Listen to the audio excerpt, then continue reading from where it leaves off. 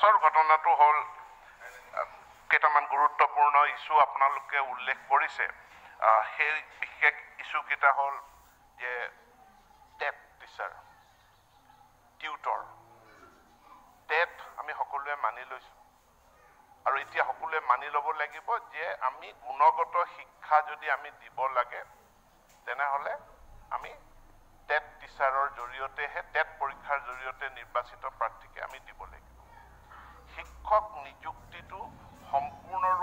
Transparent স্বচ্ছ আৰু quality teacher দিব পৰা আমাক ব্যৱস্থা এটা লাগে।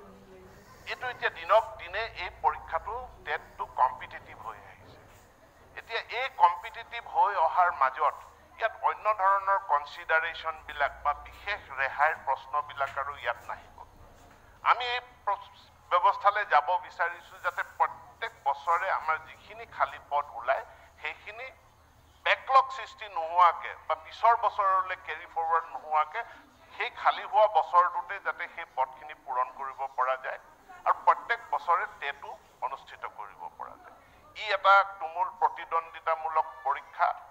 এই প্ৰতিদ্বন্দ্বিতাটো আমি সকলোৱে আদৰণি জনাব লাগিব আৰু ইয়াৰ বাহিৰে আমাৰ কোনো বেলেগ গত্যন্তৰ নাই।